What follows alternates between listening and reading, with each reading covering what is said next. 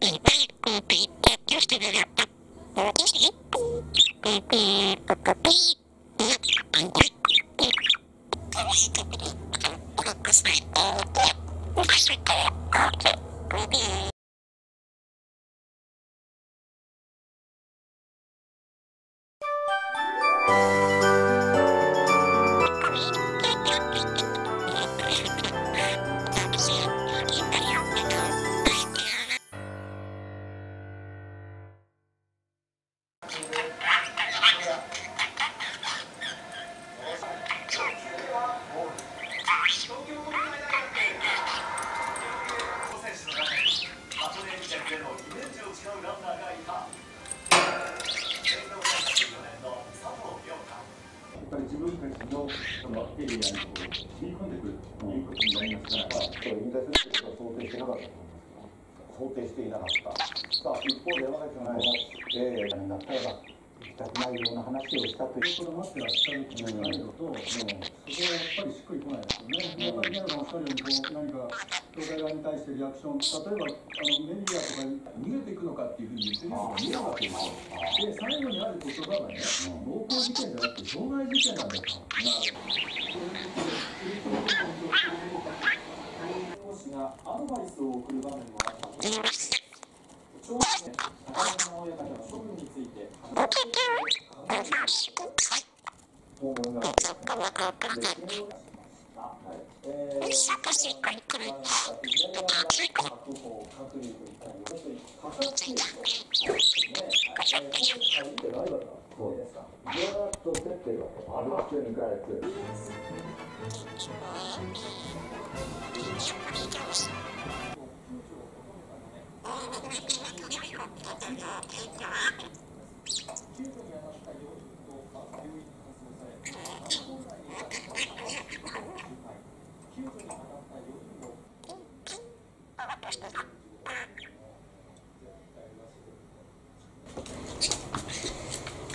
Peace.